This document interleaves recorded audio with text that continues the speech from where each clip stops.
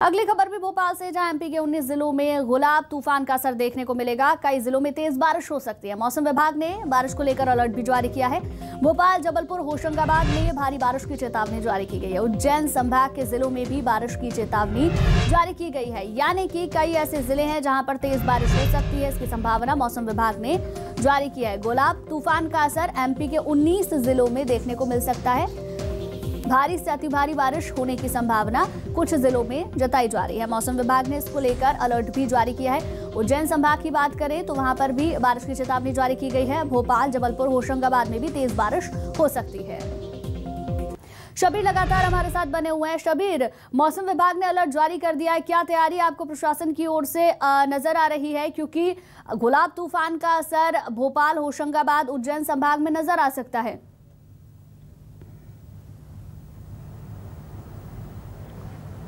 बिल्कुल मौसम विभाग की तरह, तरफ़ से लगातार अलर्ट जारी किया गया है, चेतावनी जारी की जा रही है और लेकिन इन सब के बीच अब जो जानकारी मिल रही है कि बंगाल की खाड़ी में जो चक्रवात बना है, जिसका नाम दिया गया है गुलाब गुलाब गुलाब का असर देखने को मध्य प्रदेश के 19 जिलों में मिल सकता है और ये 19 ज़िले वो हैं, भोपाल, जबलपुर, होशंगाबाद, उज्जैन।